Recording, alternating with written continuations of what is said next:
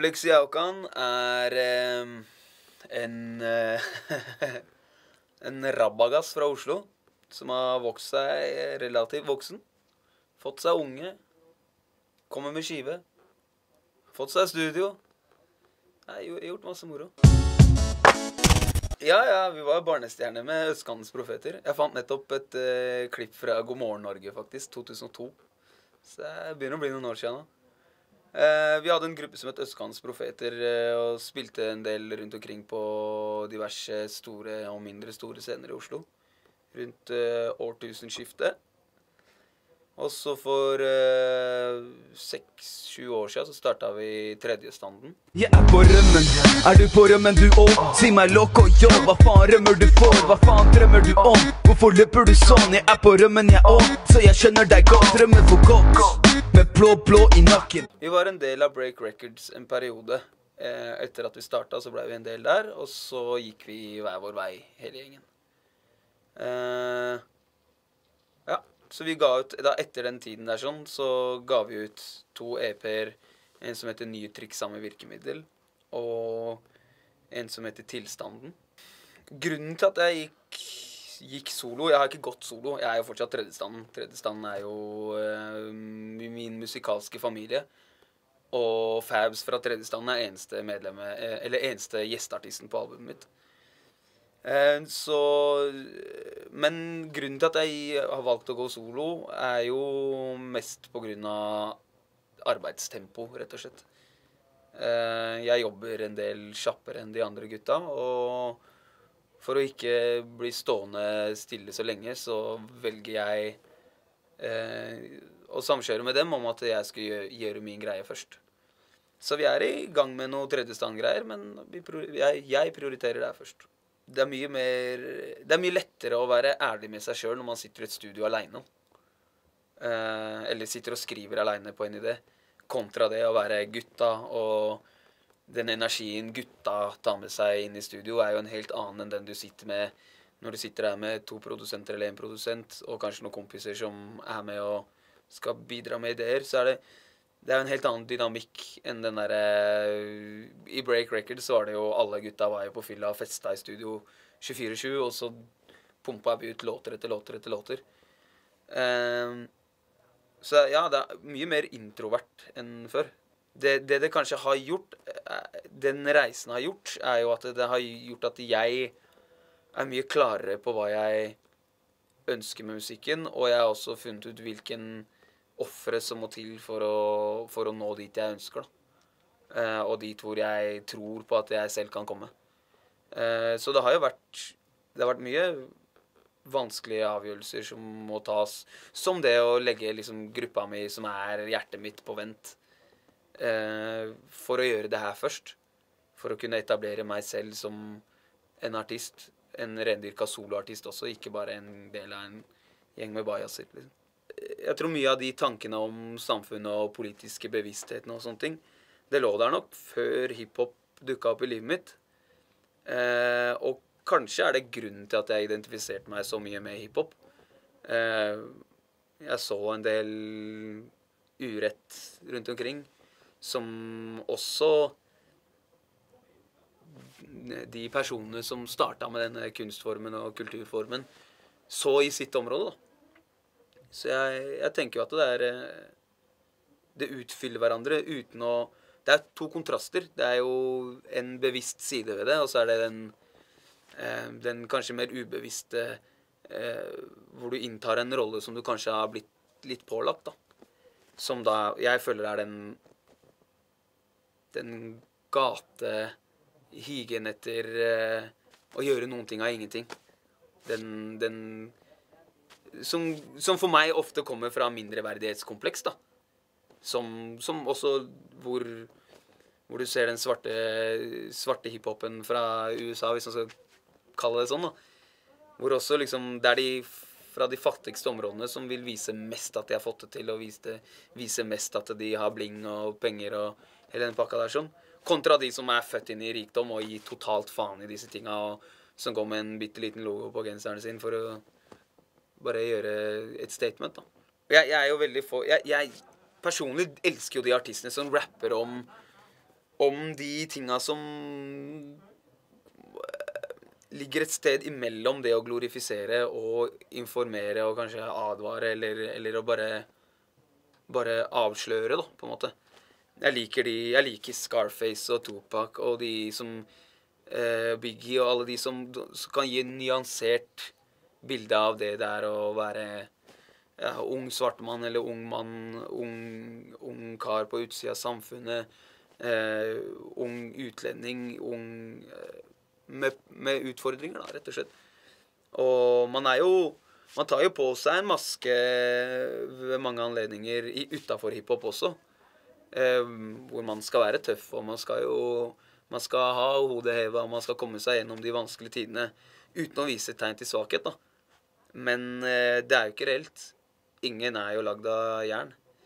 Vi alle har våre våre mangler og, og, dager hvor vi tviler på oss sjøl og, og, og, det vi gjør, da.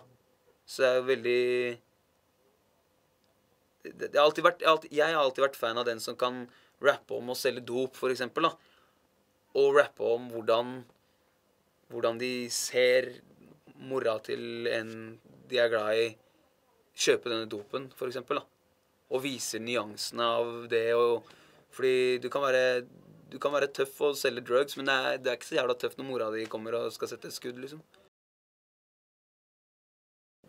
Låta er skrevet i Oslo fengsel, avdeling C1, refsavdelinga, der du sitter 23 timer innlåst i døgnet.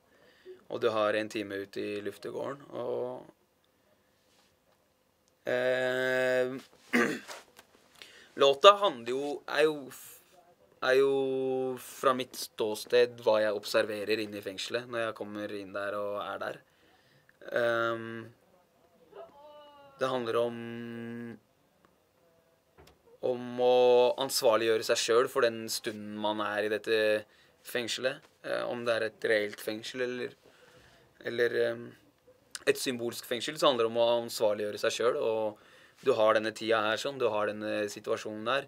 Hva skal du gjøre ut av det? Hva, hva vil du bruke tiden din på? Skal du, eh, skal du være kreativ eller destruktiv, rett og slett? Skal du skape noe, eller skal du ødelegge, ødelegge noe? Ah, jeg ser meg om, fordomsfri, men er her for en dom. Når du leker med liv, så går det sånn. Fikk min tid, la meg score på. Rett i mål, nei, rett i nett. Eh, I mitt tilfelle så kom jeg inn der i, i det en psykiater eller klassifiserte som dyp depresjon da, før jeg kom inn i fengsel. Så jeg var jo på et ganske lavpunkt, for å si det sånn. Og så melder jeg meg da til soning og havner på 23 timer innlåsning. Så låta er jo på mange måter et resultat av det. da. Mitt oppgjør med meg sjøl og hva skal jeg gjøre med denne tida. Eh, så den låta var skrevet til meg sjøl, først og fremst. Men også for alle de som sitter der inne og sliter. Det var eh, tre selvmord mens jeg var i Oslo fengsel i sju måneder. Han ene satt på cella mi noen, noen måneder før han tok livet sitt. Og hadde prøvd å grave seg ut vinduet med en smørkniv og, og var veldig desperat. 18 år gammel gutt. Er man kan kanskje anta at bak murene Trap-låta bak murene handler om å være den tøffeste i verden. Eh, men Og det gjør den. Men det tøffeste i verden er å være ærlig med seg sjøl. Det er kanskje det vanskeligste du kan gjøre.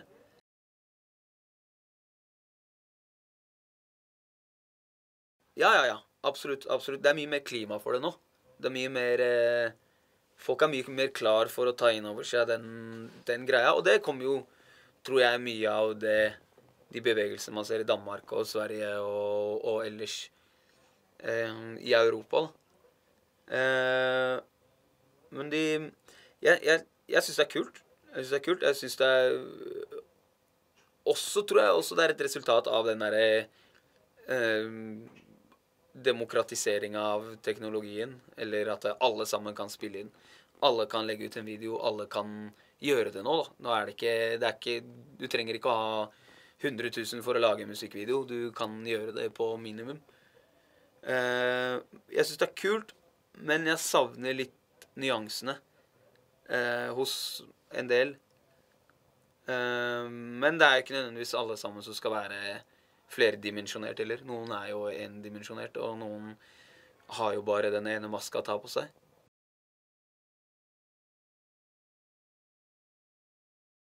Det har jo alltid vært sånn når det kommer til gateting, at det har jo vært rå makt som snakker sterkest.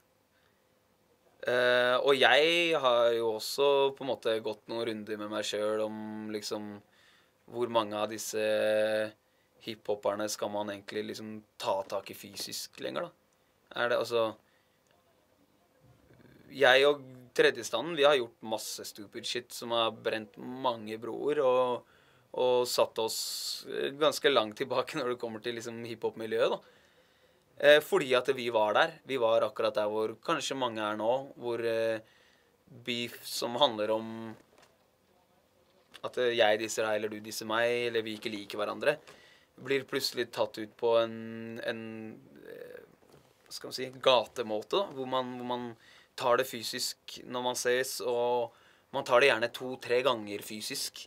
Og man fortsetter den krigen her, fordi det er liksom det språket man kan. Og så, og så lærer man jo etter hvert at det er jo egentlig å bare skyte seg sjøl i foten hvis du har lyst til å få til noe. Altså det, det som er jævla dumt, er jo at eh, hele den greia som man eh, på en måte bruker Som er en positiv ting, da. Som er hiphop-greia eller musikkgreia eller kreative greia di, da. Eh, at man skal ta inn de destruktive elementene inn i det, det syns jeg er litt sånn teit. Og det er jo heller ikke alle der ute som har noe med nå, te- nå tenker jo jeg først og fremst på beef som ikke har noe med hiphop-miljøet å gjøre.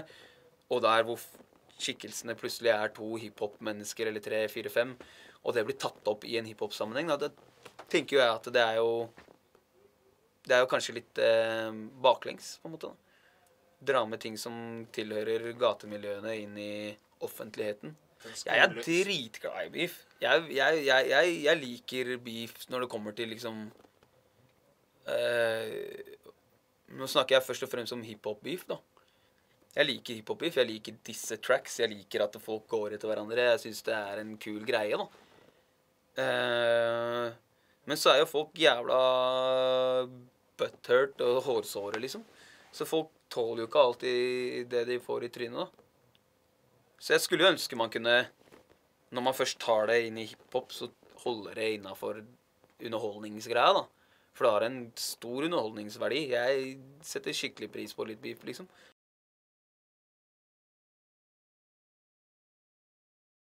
Det er litt diffust. Det er litt diffust. Den er mastra ferdig, og jeg har navnet. Jeg har um, Jeg har uh, satt meg ut mars på Idenut. Vi skyter to videoer til nå. Uh, og jobber med hele rollouten. Men, um, men jeg har fortsatt ikke lyst til å avsløre navnet før folk får høre helheten. Um, så i løpet av mars så slipper helheten. Men det er jo en som førstesingelen eh, sikter til, det er jo en veldig personlig eh, personlig affære.